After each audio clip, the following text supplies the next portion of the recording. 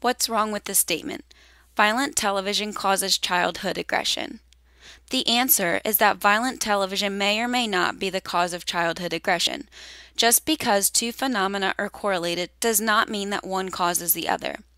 Therefore, correlation does not imply causation. A correlation is the measure of strength, direction, and degree of association between two variables. A correlation between two variables can arise because both variables are related to some third variable that, to some degree, affects the two variables. Or, in other words, a third variable may be the cause of the correlation between the two variables. In order for one to accurately establish a cause, any possible explanation for the observed correlation would have to be ruled out. Unfortunately, many people fall into the trap of believing false claims of causation implied from correlation. One of the causes of this problem is the media. The following example given was an actual news article published online.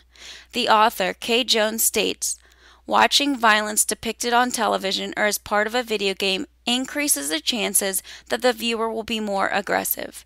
Jones concludes that the results of conducted studies based on violence depicted throughout the media are proof alone that for the cause of childhood aggression.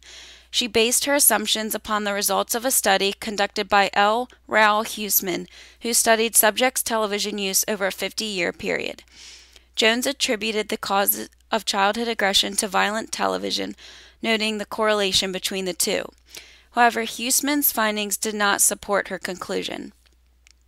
In his study, 396 randomly chosen 7 to 9 year olds were instructed to watch either a violent or nonviolent film before they played a game of hockey. Observers then rated the subject's aggressiveness towards others in the hockey game. It was found that seeing a violent film stimulated more aggressive behavior than seeing a nonviolent film. While Huesmann noted the strong relationship between violence on television and violence in childhood behavior, he concluded that the relationship was moder- moderated by the nature of the media content and the social influences of the individual.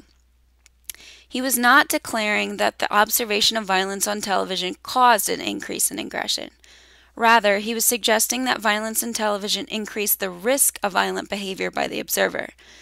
Huesmann also suggested that the correlation between the two variables was moderated by other variables, such as social influences on the individual watching the violent television. His study was significant, significantly important in that it depicted a strong correlation between violent television and childhood aggression. However, nowhere in the article did it imply that violent television was a direct cause of childhood aggression, as Jones implied in her article.